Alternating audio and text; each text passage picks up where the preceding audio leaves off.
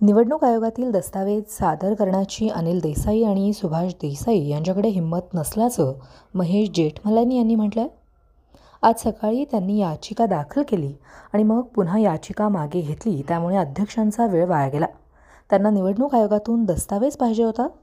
अनिल देसाई आणि सुभाष देसाई यांच्याकडे हिंमत नाही आहे सादर करण्याची त्यांचेच दस्तावेज आहेत तरी. त्यांनी स्वतः याचिका दाखल केली पण ते साक्ष देत नाहीत. मग मी बोलणारच ना की हे संपूर्ण दस्तावेज बोगस आहेत. नोंदवहीवरती त्यांनी म्हटलं आहे त्यांनी सांगितलं आहे की हा ईमेल आय डी नोंदवहीत आहे त्यामुळे आम्ही नोंदवही सादर केली. आमचा मुद्दा हाच होता की ही नोंदवही ज्यांनी सादर केली ती दोन हजार तेवीसची आम्ही दोन हजार बावीसची नोंदवही सादर केली. जर बावीसच्या नोंदवहीत एकनाथ शिंदे यांच्या नावासमोर हा ईमेल आय डी नाही तर दुसरा ईमेल आय डी आहे. सुनील प्रभू यांची आज साक्ष उलट तपासणी संपली असती. पण सकाळी जे दस्तावेज सादर केले त्यामुळे लांबणीवर पडलं.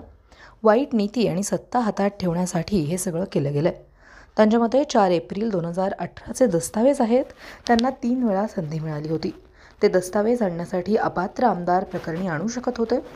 सुप्रीम कोर्टात जी याचिका दाखल केली त्या संदर्भात आणू शकत होते आणि त्याच्यानंतर जेव्हा आमच्या बाजूने रिजॉयनर झाला त्यावेळी हे डॉक्युमेंट सादर करणार त्यांच्यासाठी खूप महत्त्वाचं होतं. तरी पण सादर केलं नाही. निवडणूक आयोगाने सांगितलं की आमच्याकडे जे शेवटची घटना आहे शिवसेनेची ती एकोणीसशे नव्याण्णवची आहे. कुठेही लिहिलेलं नाही. पण दुसरे जे डॉक्युमेंट देण्यात आले त्यात नमूद केलेले आहे असे मत शिंदे गटाचे म वकील महेश जेठमलानी यांनी व्यक्त केलं आहे ते मुंबईमध्ये बोलत होते. आपने कहा है कि जो उन्होंने लेटर दिया था आज स्पीकर का टाइम बर्बाद हो गया सुबह। उन्होंने एप्लीकेशन फ़ाइल किए फिर एप्लीकेशन विड्रॉ किए।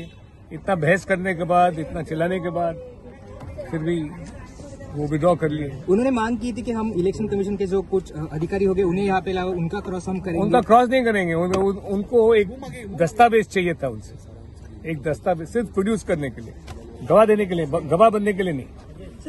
शिवसेना के जिन सीनियर लीडर्स ने लेटर सबमिट किया तो वो बाद में दिखाई नहीं दिए कि क्या आर्ग्यूमेंट थी उस मामले में आपकी? कौन सा?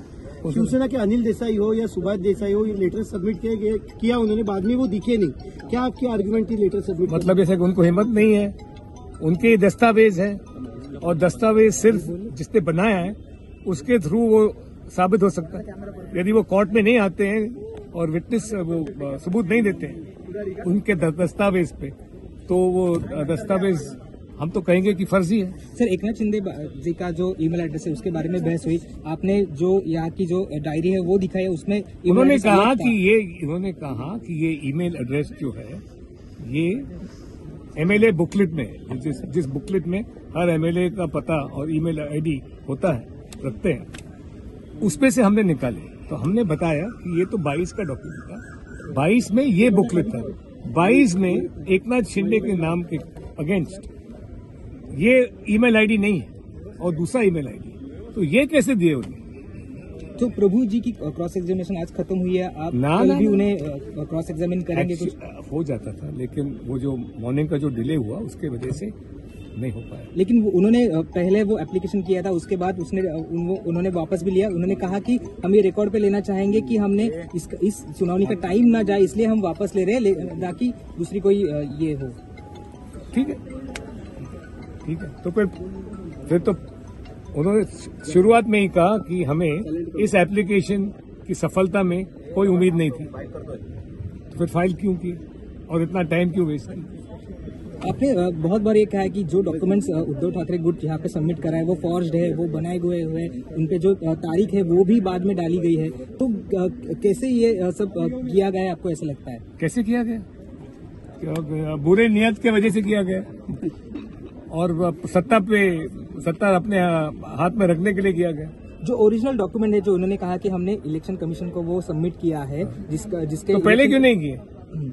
वो कॉपी ये उनका ये जो ओरिजिनल डॉक्यूमेंट था वो उनका ही था। उनके मुताबिक ये 4 अप्रैल 2018 को जो दस्तावेज़ है उन्होंने ही डा, दाखिल किया। अब ये उनको तीन मौके थे इस दाखिल को लाने के लिए इस दस्तावेज़ को लाने के लिए। सुप्रीम पहले अपने डिस्कालिफिकेशन पिटीशन में नहीं है। फिर सुप्रीम कोर्ट में उद्धव ठाकरे ने अपील फ़ाइल की। ये तो यदि ये डॉक्यूमेंट सच्चा है तो बहुत महत्वपूर्ण डॉक्यूमेंट है। वहाँ पे भी नहीं पेश किया।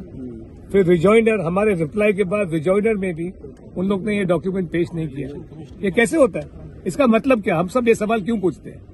कि भाई आपने अभी बनाया तीन मौके थे जब ये डॉक्यूमेंट को पेश करना कोर्ट के सामने बहुत बहुत अहम था आपके लिए। फिर भी आपने नहीं किया।